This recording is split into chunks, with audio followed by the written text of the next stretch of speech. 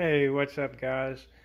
I wanted to touch base uh, on something to try to get ahead of it. Um, last week, I built a replica, and it was a sweet one. It was um, one of the olive drab colored ones, and here's how that one turned out. Just a picture of it. I really in, like the way that that solid color turned out.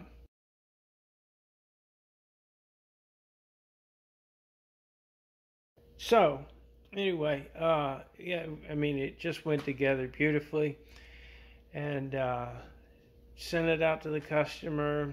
Customer got it. He's like, "Hey, I can't get the magazine in." I'm like, "You what? Huh?" Because it was just one of those builds that just went together flawlessly without a hitch, and um, I did have to go inside the magazine a few times to tune it it's really nice when you have those builds and you don't even have to go back in the magazine to tune it. Sometimes you just hit them just right and everything is great. Anyway, uh, I was like, well, what's going on? He's like, I don't know. It just won't go in all the way. And I'd already explained to him that um, it's going to feel different than uh, it did before uh, he already had a Blackbird, and so I know it feels different uh, from a stock Blackbird when you get it back from me, and that has to do with the uh, tape, the Gorilla tape, the two pieces that go in here, uh, and the Magnus Op seal.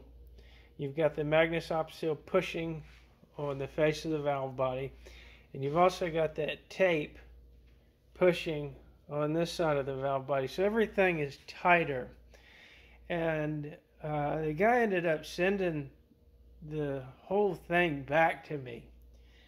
And I got to looking at it and I, I took it out, put the magazine in, it went in fine, no issues for me. I'm like sitting there thinking, well, what could it be?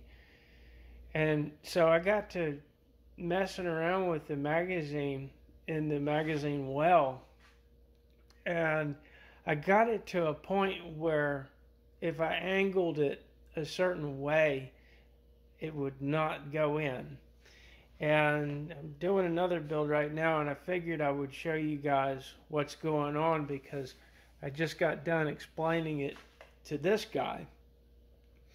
Um, and I've had somebody else one time, I believe it was, say that they had issues with the magazine going in, and he just decided to, you know, drop this, raise this latch plate up, which, you know, everything that I've done, you paid me to do, and you paid me to do it for a reason. So everything is set up uh, optimally when you get it back from me.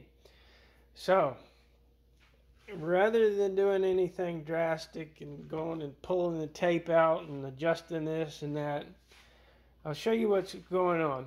If the magazine is angled back like that, try to do this with one hand. What happens is the valve body hits on the hook on the barrel nut and our groove let me get something to point with the groove is right in there so the valve body is back too far to engage with the hook on the barrel nut. So my guess is the guy was just used to putting it in a certain way and um, he just didn't bother to angle it a little bit like so and have it go home. Anyway, uh, I just wanted to bring this up uh, in hopes that in the future uh, you don't run into this and have to send it back to me. And there you go. Later. One more thing before I let you go is this is a Magnus Op seal and it sits in the valve body I mean barrel nut as if my hand were the uh, barrel nut and it sticks out a little bit the barrel pushes it out a little bit. Um, so when the valve body comes up against it, it pushes everything and squishes it flat in there, and that's what gives you a 100% seal, as opposed to uh, the factory uh, barrel seals and some other aftermarket barrel seals. Anyway, it squeezes that flat. Now, as it goes up and as that hook engages on that groove, it brings that valve body closer and closer.